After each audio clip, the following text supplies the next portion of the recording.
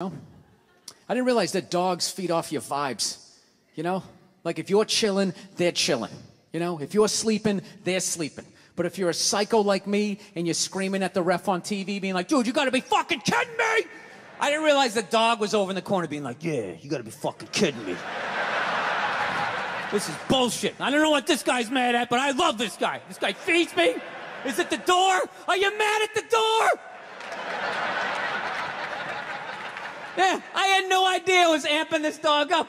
I was so selfishly in my own world. I'd be like on the computer and would crash. You'd be like, oh, really? Really? Dog's over in the corner with like a chew toy. I never noticed like that game seven look she was getting on her face. And one day I amped her up too much, had no clue, and I went outside. We were just walking down the street, and some poor bastard comes the other way, and the dog's like, That's that motherfucker. Yeah! Lunge at this guy. I had to pull her back. I'm like, Dude, I'm sorry, man. I'm sorry. She's never done anything like that, right? Looking down at the dog, What's wrong with you? Dog's looking up at me like, Huh? I got that son of a bitch, didn't I? I love you. You feed me. I got you. How the hell did you see him that far away, man? Your ears must be better than mine. It's unbelievable. Right? Then I got nervous. I got nervous around my own dog. I started thinking, fuck, a pit bull's really like this? Do they just go psycho? Man, this is nuts, right? That's another bad vibe to have around your dog because they pick up on that vibe, right?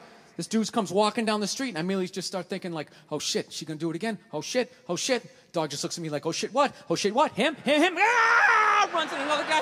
Had to pull her back. Jesus Christ, I'm sorry.